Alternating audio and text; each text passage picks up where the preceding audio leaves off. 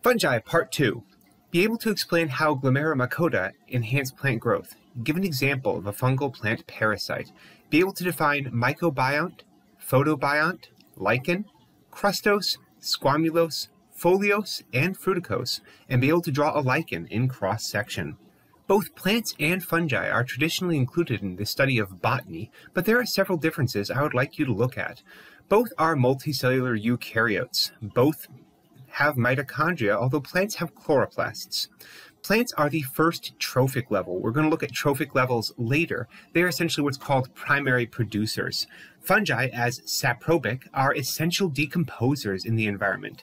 The plants can fix carbon, and sometimes they can fix nitrogen with the help of rhizobial bacteria. Fungi refresh soil levels of nitrogen, phosphorus, and carbon. They put it back in the soil and make it into more available forms.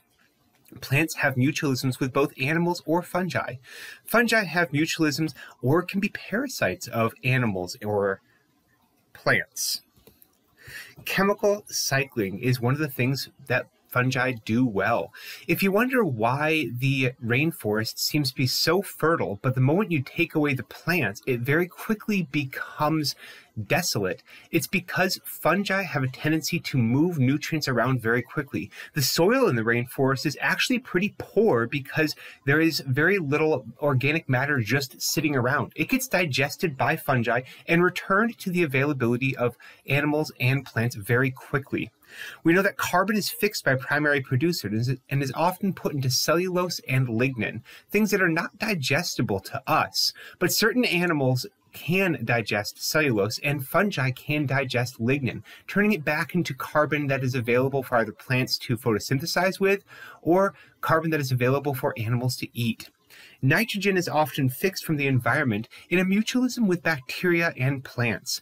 Decomposers are going to speed up the rates of chemical cycling. In a place with very few fungi, such as the Arctic tundra, things can actually get locked away for a long time. Remember that peat bog we looked at?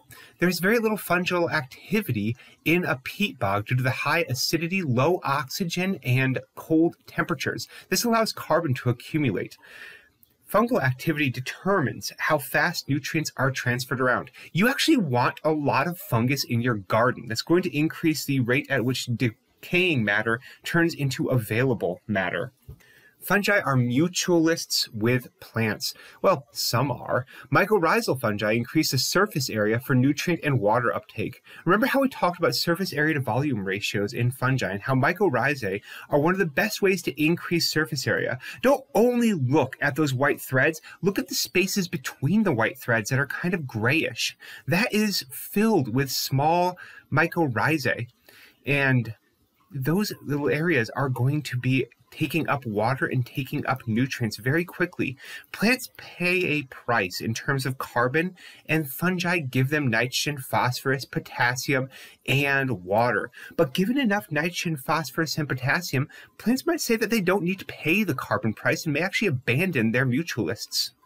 Old Main was funded by a timber harvest. St. Martin's harvested a whole bunch of white pine and was able to fund the production of the long arm of Old Main.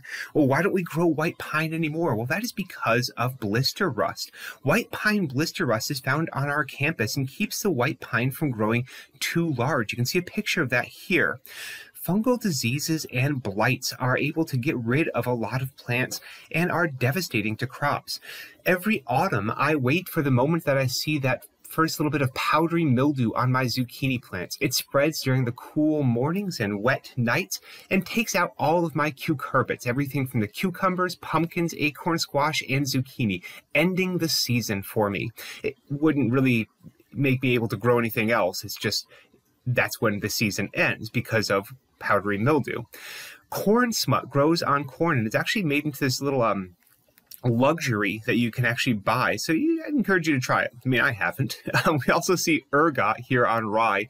That contains a compound called LSD, which can make people uh, pretty high and trippy. It also can kill you slowly. The form in the ergot, causing something called ergotism. Chestnut blight wiped out most chestnut trees in the eastern United States, taking out a species from their forests. These are examples of parasites that fungi affect plants as. We can also see an interesting plant-fungus plant mutualism slash parasitism. This is a plant that is parasitic on the mutualist of a plant. So that's that's a lot to unpack. This is an Ericaceae. This is in the rhododendron and blueberry family. These little candy cane plants, they're able to parasitize the mutualistic mycorrhizae in the forest, and that actually takes nutrients away from the mycorrhizae. Where do the mycorrhizae get their nutrients? Well, from the nearby trees. So it's kind of an interesting story. These are fun to look at when you're out in the forest because they are non photosynthetic plants. Could there be a photosynthetic fungus? Well, no, but actually, yes. This is a lichen, and a lichen is a dual organism. So there are two different things living here in this Rhizocarpon geographicum. That's right, that species name is actually two separate species working together. There is something called the mycobiont, which is a fungus, often in the Ascomycota, and it gives structure for the photobiont, which is an algae or cyanobacterium. That's right, it can be either a eukaryote or prokaryote, and that gives that little green coloration.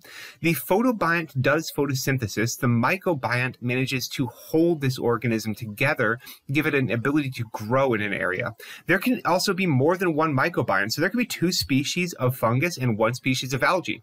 Or there could be two species of algae or cyanobacteria and one species of fungus in this lichen. So these are confusing organisms, but they're really cool. And they're often the first organisms to exist on this bare rock. They can dissolve the rock and create soil. So these were probably some of the first organisms, maybe even out on Earth, on the land. Let's look at this physiology of these in a cross section. So these have an ascocarp because these are ascomycota, and you can see asci and ascospores in there, able to spread fungal spores. Those fungal spores are without algae. If you want to reproduce the actual fungus and algal um, symbiont, you would put these soredia. These soredia can reproduce new lichens, so they can fragment off, and these little pieces of dust can go out and form new lichens.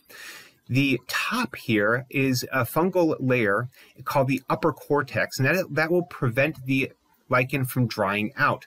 The lower cortex forms rhizines, which sounds a little like rhizoids and forms a similar function. They anchor the lichen to the rock and also start dissolving the rock. So that lower cortex and upper cortex, they both contain and hold the medulla in which algae live, and these algae are doing photosynthesis, bringing in carbon and sometimes even nitrogen for the lichen. Let's look at the different shapes of lichen. So first off, you can get those little crusty ones, that kind of grayish stuff, uh, the greener gray, the crustier gray. That's a crustose lichen. They don't have a lower cortex and rhizines. They're just living in a very small layer on whatever they're living on, in this case, a tree trunk. The foliose look like leaves, and you can find these all over campus. They're, they look like leaves, and if you actually did a cross section here and compared it to a cross section of leaf, you're going to see that they have very similar physiology between foliose, lichens and leaves. Fruticose lichens form tubes and cylinders that contain the algae and have these really cool branched structures. You can see these on a lot of trees around campus. This picture is good, but I mean, honestly, you're living on a place where there are tons of fruticose lichens around. Then there are squamulose, which form like scales. And those, well, you can find them on rocks. They're not really common around campus, but go for a hike sometime. You'll, you'll see them around. The ecology of lichens is kind of up for debate. So we've got a couple different theories here. The parasite theory is that since the fungus is forming appressoria, which are these specialized structures used in parasitism to suck the nutrients out of things, that the fungus is actually a parasite on the algae and is holding the algae prisoner. Also in this are the fact that some algae are killed in the interaction. Then there's a commensalist theory. Because the algae can survive alone and because the fungus can sometimes survive alone, it's possible that they're just helping each other out. They're just beneficial to the other, but it's not really a mutualism or a parasitism. And then we have the mutualist theory, which most people go with. Because both organisms get a new niche, that's right, the fungus couldn't live on those tree branches and do so well if it wasn't for the algae. The algae couldn't live on those tree branches and do so well if it wasn't for the fungus.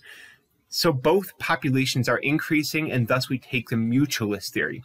Most people go with the mutualist theory, but it's interesting to see the other theories of how lichens have evolved.